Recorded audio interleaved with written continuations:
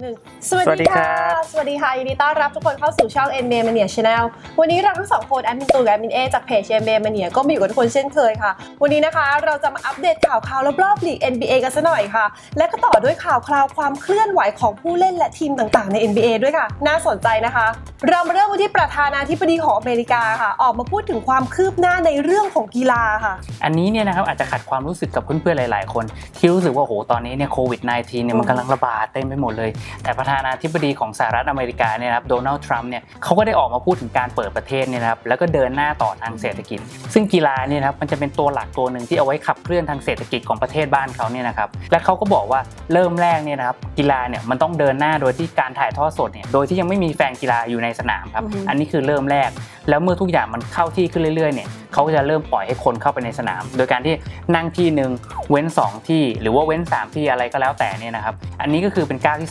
2 หลังจากนั้นเนี่ยพอทุกอย่างมันสามารถควบคุมได้เนี่ยแล้วสุดท้ายเนี่ยครับก็ค่อยเข้าไปเต็มสนามแบบปกติเลยครับ อันนี้คือก้าวแรกก้าวที่ 2 แล้วก็ก้าวสุดท้ายนะครับและเขาก็เชื่อว่านะครับหลาย ๆ ชนิดกีฬาเนี่ยจะสามารถกลับสู่ภาวะปกติได้โดยเฉพาะรัฐที่มันมีการระบาดของไวรัสตัวนี้ค่อนข้างน้อย ค่ะ อันนี้ก็ฟังดูดีนะคะ ถือว่าเป็นเรื่องที่ดีค่ะ แต่อย่างไรก็ตามค่ะนี่ก็เป็นแค่แนวคิดนะคะ ยังไม่มีการประกาศใดๆเลยนะคะ ก็ต้องมาติดตามกันดูค่ะ ว่าจะมีใครเล่นด้วยไหมนะคะกับแนวคิดนี้ค่ะ แต่มันก็พอมีทางเป็นไปได้นะครับ เพราะว่าล่าสุดเนี่ยมันมีคุณหมอท่านหนึ่งที่ชื่อว่า Anthony Fauci ครับคนนี้นี่คือหมอที่คุยกับสเตฟ h นเคอรีถ้าเกิดเพื่อนๆเคยดู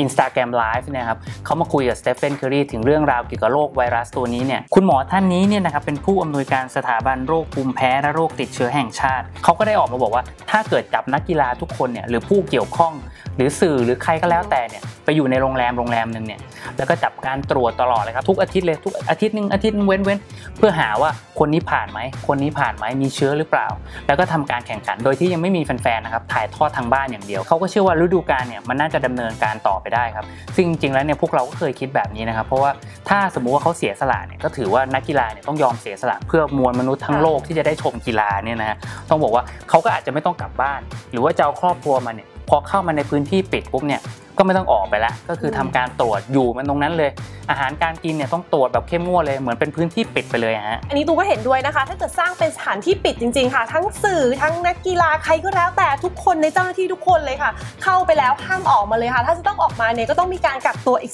14 วัน ในบริเวณนั้นค่ะ มันก็จะกลายเป็นสังคมที่ปลอดเชื้อไวรัสนะคะ แล้วก็น่าจะเล่นต่อไปได้ค่ะ อย่างที่มินเอเนี่ยเคยเล่าให้พวกเราฟังนะคะว่า NBA เนี่ยก็เล็งที่ลาสเวกัสอยู่ค่ะ เพราะมีทั้งอุปกรณ์แล้วก็มีทั้งสนามพร้อมสับค่ะ ทีนี้ก็จะเหลือแค่กระบวนการนะคะ แล้วก็ข้อกำหนดเหล่านี้ค่ะ ที่ NBA เนี่ยจะต้องสร้างขึ้นมานะคะ ที่เหลือเนี่ยก็ดูแล้วน่าจะเดินหน้าต่อไปได้ค่ะ อันนี้จริง ๆ แล้วเนี่ยนะครับถ้าสมมติว่า NBA เนี่ยสามารถกำหนดขั้นตอนต่างๆ การเฝ้าระวัง การป้องกันต่างๆเนี่ยร่วมกับทีมแพทย์ โดยมีทีมแพทย์เนี่ยช่วยเฝ้าระวัง ช่วยให้คำแนะนำและช่วยป้องกันต่างๆเนี่ยคู่ขนานกันไปเนี่ยมันก็ไม่แน่นะครับลีกอืมสามารถเดินหน้าได้ ถ้าเกิดมันเป็นอย่างนั้นจริงๆเนี่ยเท่ากับพวกเราเนี่ยก็เริ่มมีความหวังลางๆแล้วที่จะได้ชมฤดูกาลที่มันเหลืออยู่ครับ ทีนี้เรามาต่อกันที่ความเคลื่อนไหวของทีมค่ะ และผู้เล่นต่างๆกันบ้างนะคะ เป็นอย่างไรกันบ้างคะ เรามาเริ่มกันที่ New York Knicks กันก่อนนะครับ ก่อนหน้านี้เนี่ยเราเห็นข่าวว่า ถ้าสมมุติว่า Rudy Gobert กับ Donovan Mitchell เนี่ยที่เขามีปัญหากันเรื่องที่ว่าโอ้ติดเชื้อไวรัสกันเนี่ยแล้วมันตกลงกันไม่ได้ ตกลงกันไม่ลงตัวเนี่ย Utah Jazz เนี่ยอาจจะต้องเสียผู้เล่นคนใดคนหนึ่งไปเนี่ยถ้าสมมุติว่าเป็นอย่างนั้นเนี่ยทาง New York Knicks เนี่ยเขาก็บอกว่าเขาพร้อมแล้ว และเขาก็ต้องการล่าตัว Donovan Mitchell อืมอันนี้คือก่อนหน้านี้นะครับแต่ตอนนี้ครับล่าสุดออกมาเนี่ยทาง New York Knicks เนี่ยก็ประกาศออกมาเช่นเดียวกันว่าเขาก็พร้อมที่จะล่าตัว Joel Embiid เช่นเดียวกันนี่ถามว่าทำไมถามว่าทำไมถึงมีกระแสนี้ เพราะเขาบอกว่าก่อนหน้านี้เนี่ยนะครับมันมีกระแสออกมามากมายเลยครับว่า Joel Embiid เนี่ยกับ Ben Simmons เนี่ยเล่นเข้ากันไม่ได้ คือไม่ใช่ไม่เก่งนะครับ แต่ทั้งสองคนเนี่ยพอเล่นร่วมกันแล้วเนี่ยมันไม่ส่งเสริมซึ่งกันและกัน มันก็เลยทำให้ทีมเนี่ยไปไม่สุด ดังนั้นเนี่ยถ้าสมมุติว่าในเพลย์ออฟที่จะถึงนี้เนี่ยที่ยังไม่รู้ว่าจะเล่นเริ่มเล่นเมื่อไหร่เนี่ยนะครับถ้าสมมุติว่ากลับมาเล่นปุ๊บเนี่ยแล้ว Sixers เนี่ยตกรอบเร็ว อาจจะตกรอบแรกรอบ 2 หรืออะไรก็ว่ากันไปเนี่ย เขาบอกว่าไม่แน่นะครับว่า Sixers เนี่ยผู้บริหารของ Sixers เนี่ยอาจจะมีการเปลี่ยนทีม อาจจะต้องย้ายใครออกไป หรือว่าจะ trade ใครเข้ามาใหม่ ซึ่งหนึ่งในนั้นเนี่ยก็มี Joel Embiid เหมือนกันครับ ดังนั้นเนี่ย New York Knicks ก็เลยบอกว่าถ้าสมมติเป็นอย่างนั้นจริงๆ เนี่ยเขาก็พร้อมครับ พร้อมที่จะล่าตัว Joel Embiid เข้ามาอยู่กับ New York Knicks ให้ได้เลยครับ ทีนี้เราก็มารอดูกันอีกทีนึงครับ ว่าถ้าสมมตินะครับว่า Sixers เนี่ยตกรอบเร็วจริงๆ ครับ ในเพลย์ออฟเนี่ยทีมจะมีการขยับยังไง แล้ว New York Knicks เนี่ยจะล่าตัวได้จริงหรือเปล่าครับ อันนี้มาติดตามกันครับสำหรับ Joel Embiid นะคะ ยังคงอยู่ในสัญญา 5 ปี 147.7 ล้านเหรียญค่ะ เป็นแบบ max contract นะคะ กับ Sixers ไปจนถึงสิ้นปีฤดูกาล 2023 ค่ะ ดังนั้นค่ะ หาก Knicks เนี่ยต้องการตัว Joel Embiid มาร่วมทีมจริงค่ะ ก็ต้องเป็นการ trade อย่างเดียวเลยนะคะ น่าสนใจมากค่ะ เรามาติดตามดูกันค่ะ Knicks ค่ะ โดยการทำทีมของประธานคนใหม่นะคะ Leon Rose ค่ะ ที่เพิ่งจะได้ตัวมาก่อนที่ลีกจะระงับเนี่ยเขาจะมีแผนในอนาคตเป็นอย่างไรค่ะ น่าสนใจมากๆเลยค่ะ เรามาต่อกันที่ Andre Drummond นะคะ กับข่าวข่าวล่าสุดค่ะ เป็นอย่างไรบ้างคะ อย่างที่พวกเราทราบกันดีเนี่ยนะครับว่าช่วงกลางฤดูกาลที่ผ่านมาเนี่ย Andre Drummond เนี่ยเขาก็ถูก Detroit Pistons เนี่ย trade มาอยู่กับ Cleveland Cavaliers อือฮึซึ่งตอนนี้เนี่ยนะครับก็ลงสนามไปแค่ 8 เกมเท่านั้นแล้วลีกก็ระงับการแข่งขันอย่างที่พวกเราทราบกันดี แต่ล่าสุดเนี่ยนะครับมันมีกระแสข่าวออกมาว่า Andre Drummond เนี่ยจะเลือกรับสัญญาปีสุดท้ายแล้วก็อยู่กับ Cleveland Cavaliers ต่อครับซึ่งจริงๆอันนี้ต้องมองย้อนกลับไปก่อนนะครับว่าในปี 2016 เนี่ยเจ้าตัวเซ็นสัญญา 5 ปี 127.7 ล้านเหรียญกับดีทรอยต์พิสตันแล้วปีสุดท้ายเนี่ยก็มี player option หมายความว่าอะไร หมายความว่าจบฤดูกาลนี้เนี่ยนะครับเจ้าตัวเนี่ยมีทางเลือก play option นี่คือทางเลือก ทางเลือกที่จะเป็น free agent หรือทางเลือกที่จะรับสัญญาต่อสุดท้ายที่เหลือในปีสุดท้ายเนี่ยนะครับถามว่ามันดียังไงกับนักกีฬา นักกีฬาพวกนี้เนี่ยนะครับเขารู้ดีว่ามูลค่าของตัวเขาเนี่ยมันเป็นอย่างไร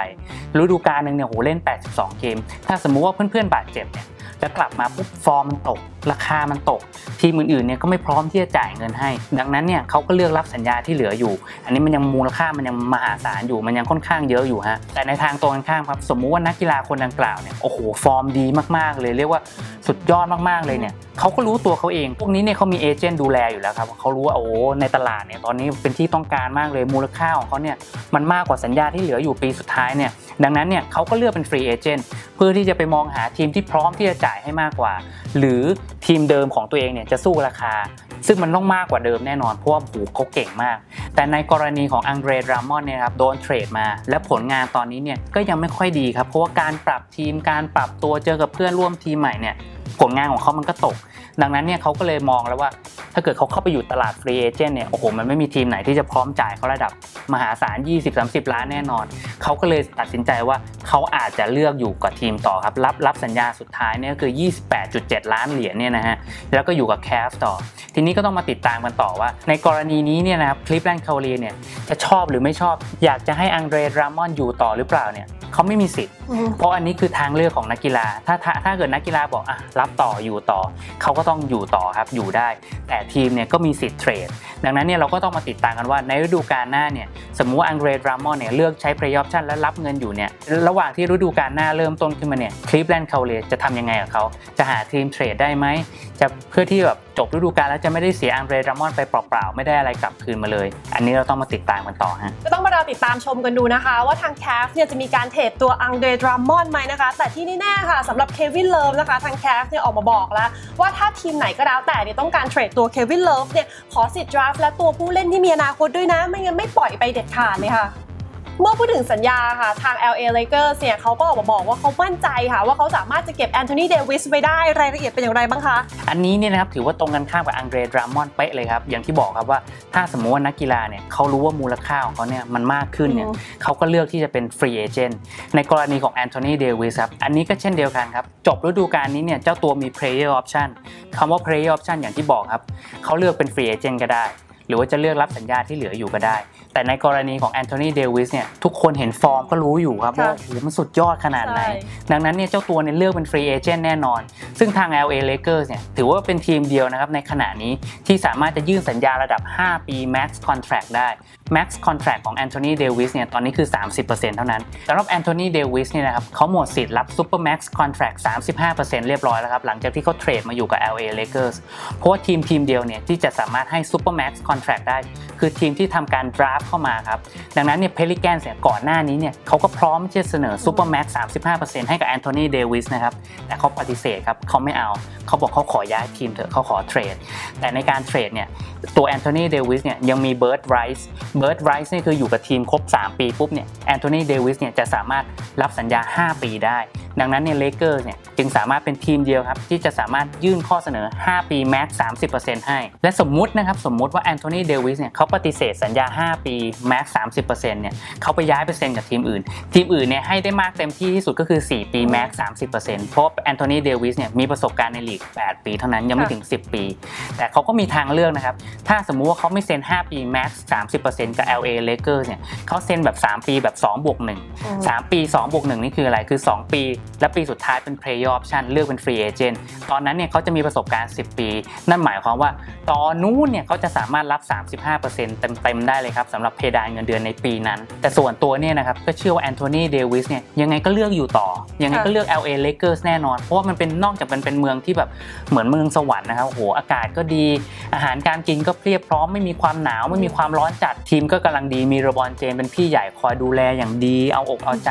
เรียกว่าไม่น่าจะไปไหนครับ ทีนี้ก็เหลืออยู่อย่างเดียวครับ อยู่แค่ว่าเขาจะเลือกต่อสัญญาแบบไหน จะเป็น 5 ปีอืมหรือจะเป็นแบบ2บวก1ที่ว่าเนี่ยก็เลยอยากจะถามแอดมินตูนว่าค่ะถ้าสมมุติว่าแอดมินตูนเนี่ยเป็นแอนโทนีเดวิสเนี่ยจะเลือกเซ็นสัญญาแบบไหนฮะจริง ๆก็น่าคิดนะคะ แต่ถ้าเป็นตูนเนี่ยค่ะตูนจะเลือกเซ็น 5 ปีไปเลยดีกว่าค่ะ ดูแล้วจะปลอดภัยกว่านะคะ เพราะว่าในตัวของแอนโทนีเดวิสเนี่ยเขาก็จะมีเรื่องการบาดเจ็บเข้ามาแทรกเหมือนกันนะคะ ดังนั้นเนี่ยถ้าเซ็น 5 ปีไปยาวๆเลยเนี่ยดูแล้วก็ปลอดภัยกับสัญญา เพราะว่าตอนนี้เลเกอร์สก็เป็นทีมเดียวที่สามารถให้สัญญาได้มากสุดขนาดนี้อยู่แล้วด้วย ดูง่ายๆ ใกล้ๆตัวเลยค่ะ อย่างเดอมาร์คัสคัสซินส์สิคะพอบาดเจ็บหนักมาเนี่ยอย่าว่าแต่ร้อยล้านเหรียญเลยค่ะ 10 ล้านเหรียญยังหายากเลยค่ะจริงดังนั้นเนี่ยหากตูนเป็น AD นะคะ ตูนจะขอเซ็นยาวๆ ไปเลยค่ะ แต่จะขอเจรจานิดนึงค่ะ เป็นแบบ4บวก1มี player option ในปีสุดท้ายด้วยค่ะอืมใช่ได้จะได้ไหมไปเป็น agent นักกีฬาได้ไหมคะโอเคครับ เรามาปิดท้ายวันนี้กับเรื่องราวของชาคีลโอนีลค่ะ หลังจากที่เขานะคะถูกถามว่าตัวเขาเนี่ยในช่วง prime นะคะ ช่วง top ของอาชีพในช่วงที่ได้รับแชมป์3สมัยเนี่ยหากจะต้องเจอกับบูลส์เนี่ยในช่วง peak เนี่ยจะเป็นอย่างไรคะเขาก็ตอบว่าชนะแน่นอนเออแอดมินเอว่าอย่างไรคะก่อนอื่นเนี่ยนะครับก็ต้องบอกว่าแต่ละคนเนี่ยมันก็มีความคิดของแต่ละคน ความคิดใครความคิดมันไม่มีผิดครับ ดังนั้นเนี่ยชาคีลโอนีลเขาบอกว่าง่ายยังไงเขาก็ชนะเนี่ยส่วนตัวแอดมินเนี่ยก็รู้สึกว่ามันไม่ง่ายหรอก แล้วก็ไม่น่าจะชนะด้วย เพื่อนๆเนี่ยอย่าลืมนะครับว่าในช่วง 3 แชมป์แรกของแช็คเนี่ยตอนนั้นเนี่ยโคบีไบรอันต์เนี่ยมันยังไม่ใช่ช่วงโคบีที่ top มากๆ ดังนั้นเนี่ยในโคบีตอนนั้นเนี่ยมาเจอกับไมเคิลจอร์แดนเนี่ยเชื่อว่ายังไงก็เป็นรอง ทีนี้มามองตัวอื่นๆบ้างอย่างริกฟ็อกซ์โรเบิร์ตออรีหรือจะเป็นเดริกฟิชเชอร์เนี่ยมาเจอกับสกอตตี้พิพเพนเจอกับรอนฮาร์เปอร์เจอกับเดนนิสโรดแมนเนี่ยไม่ง่ายนะฮะไม่หมูเลยนะฮะเพื่อนๆลองย้อนกลับไปตอนปี 96 นะครับ ชิคาโกบูลส์เนี่ยเจอกับออร์แลนโดแมจิกตอนนั้นเนี่ยชาคีลโอนีลเล่นคู่กับเพนนีฮาร์ดาเวย์เนี่ยโดนบูลส์เนี่ยต้อน 4-0 นะฮะ 4-0 นะครับ บางช่วงเนี่ยเดนิสโรดแมนเนี่ยไปประกบกับชาคีลโอนีลด้วย ตอนนั้นเนี่ยแช็คนี่ก็ปวดหัวโอ้โหเจอยั่วประสาทเจอตีฟาวล์เจอ เรียกว่าเกมของแช็คเนี่ยมันสะดุด แม้ว่าในช่วงปี 2000ถึง2002เนี่ยโอ้โหแช็คจะสุดยอดมากๆเนี่ยแต่เจอกับเดนนิสโรดแมนเจอใครกันช่วยกันรุมเนี่ยหรือว่าจะตีฟาวล์เบรกจังหวะในการเล่นต่างๆเนี่ยและเพนนีฮาร์ดาเวย์ตอนนั้นเนี่ยก็ไม่ใช่ว่าหมูนะครับก็คือเกรดเดียวกับโคบีไบรอันต์ก็ว่าได้ในช่วงที่โคบียังไม่ peak เนี่ยเพนนีเนี่ยเจอทั้งพิพเพนเจอทั้งรอนฮาร์เปอร์เนี่ยช่วยกันสลับด้านหน้ากันมาประกบ หรือแม้กระทั่งตัวไมเคิลจอร์แดนเองเนี่ยเล่นยากมากอืมและนี่พอหันไปมองดูอย่างริกฟ็อกซ์ดูอย่างเดริกฟิชเชอร์ไม่ใช่ปัญหาครับ ถ้าเกิดส่วนตัวถามแอดมินเนี่ยนะครับส่วนตัวคิดว่าถ้าเจอกันจริงๆในซีรีส์แบบ 7 เกมเนี่ยเชื่อว่าบูเนี่ยยังไงก็ชนะซีรีส์ได้อะเต็มที่ 4-2อะอันนี้คือส่วนตัวนะครับดังนั้นถึงบอกว่า ความคิดใครความคิดมันชาคิโอนิวก็มีความคิดของเขาเราเป็นฐานะแฟนๆเนี่ยเราก็มีความคิดของเราอืมดังนั้นเนี่ยก็สนุกสนุกครับมันเป็นเรื่องแบบ อะสมมุติแซวกันอะไรเล่นเงี้ยแซวกันเล่นคุยกันเล่นอะไรอย่างเงี้ยฮะค่ะ ก็ถือว่าเป็นการคุยกันสนุกๆนะคะ แต่ทีนี้ค่ะตูนก็มานั่งคิดค่ะ ในช่วงเลเกอร์ตอนนั้นค่ะมีแช็คเป็นแกนนำนะคะ ถ้าแช็คเนี่ยโอ้โหโดนยั่วอารมณ์นะคะไม่ว่าจะเป็นเดนิสโรดแมนค่ะหรือว่าจะเป็นผู้เล่นบูลส์คนอื่นๆนะคะแล้วก็ต้องไปยิงลูกโทษอยู่บ่อยๆเนี่ยเรียกได้ว่าเกมของเขาเนี่ยต้องสะดุดแน่นอนค่ะ และทีนี้ค่ะในส่วนของเลเกอร์แต่ใครจะมาหยุดไมเคิลจอร์แดนล่ะคะโอ้โหลำบากเลยค่ะน่าคิดจริงๆนะคะ และทั้งหมดนี้ก็คืออัปเดตของ NBA ตอนนี้ค่ะ อยู่บ้านอยู่กับ NBA มาเนี่ยนะคะ ช่วงนี้ทุกคนดูแลสุขภาพกันนะคะ วันนี้พวกเราทั้งสองคนขอบคุณทุกคนมากนะคะ ที่ติดตามชมพวกเราทั้งสองคนค่ะ ขอบคุณนะคะ ขอบคุณนะครับ